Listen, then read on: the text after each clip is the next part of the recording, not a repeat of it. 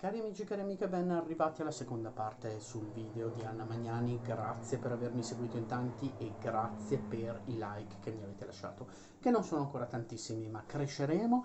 Quindi se volete potete attivare la campanella, lasciarmi like, lasciarmi messaggi. Eh, veramente sono eh, molto contento.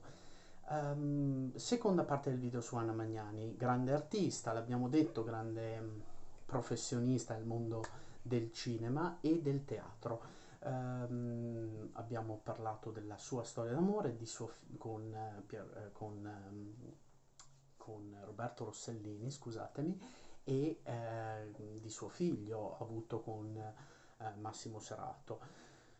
Um, abbiamo parlato di alcune sue interpretazioni, ma Anna Magnani a un certo punto si trova a volare ad Hollywood. Vola ad Hollywood, gira La rosa tatuata, dramma scritto per lei dall'amico Tennessee Williams, e eh, si trova a vincere l'Oscar.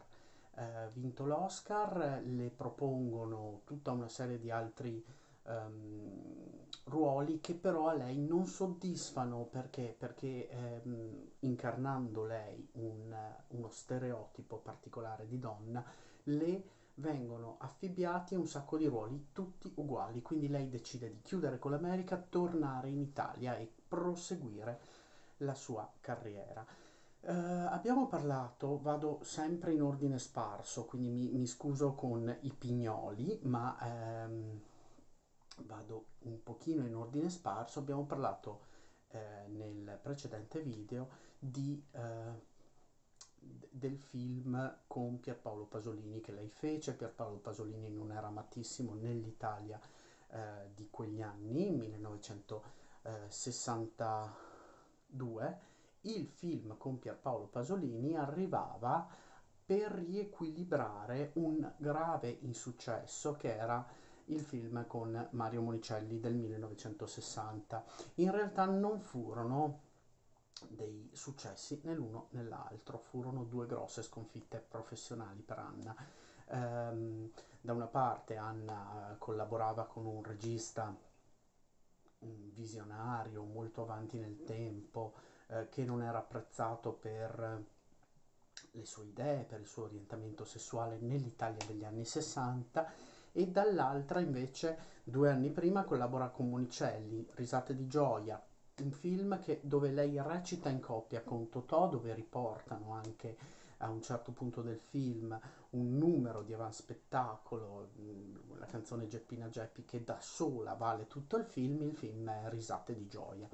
Um, film um, che la Magnani fece fatica ad accettare perché, perché uh, tornare a lavorare con Totò Voleva dire per lei che aveva vinto l'Oscar, quindi che era uscita dal mercato italiano ed era diventata di respiro internazionale, fare un passo indietro. Totò era un grandissimo eh, attore, un grandissimo eh, comico, eh, però era rimasto nel mercato italiano, era molto legato al mercato italiano. Lei era uscita, lei aveva un respiro internazionale tornare a lavorare con Totò voleva dire fare un passo indietro.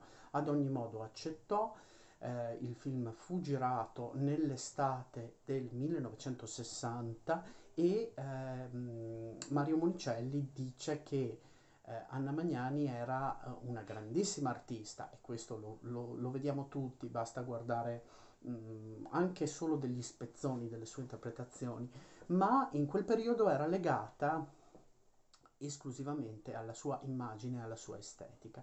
Recita con una parrucca eh, bionda, vediamo un'Anna Magnani eh, molto diversa eh, da, dalle sue interpretazioni. Um, un film molto bello, molto divertente che per allora però non fu eh, un successo. Um, Anna Magnani va avanti con la sua carriera, non diventa mai un'attrice ricca e lo, lo dichiara lei stessa, proprio perché dice tanti no, dice tanti no, eh, se un ruolo non le piace, lei dice no e è per questo che durante la sua carriera sta ferma anche diverso tempo eh, senza lavorare.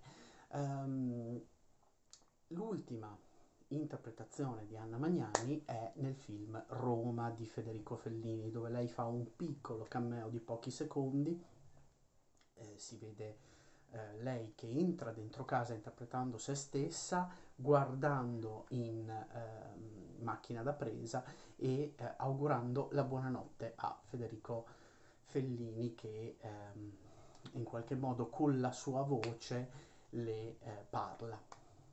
Che so io? Una Roma vista come lupa e vestale, aristocratica e stracciona, tetra, buffonesca, potrei continuare fino a domattina. A Federico, va a dormire, va. Posso farti una domanda? No, non mi fido, ciao. Buonanotte. Ecco, sembra quasi un saluto al pubblico.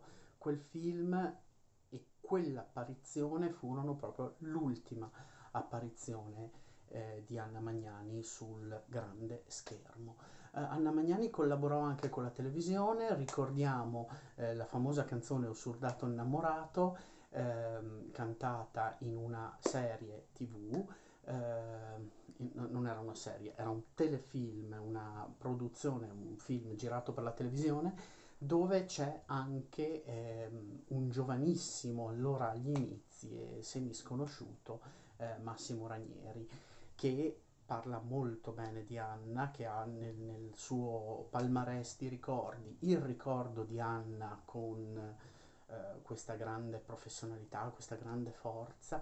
E lui mh, da giovane ragazzo non conosceva questo classico della canzone napoletana, Soldato innamorato, eh, e quindi Anna eh, gliela fa sentire, poi de- dovrà cantarla anche eh, davanti alla macchina da presa e gli dice ma tu, ma che napoletano sei se non conosci questa canzone? Anna amava molto Napoli, amava molto la eh, canzone napoletana, amava molto anche cantare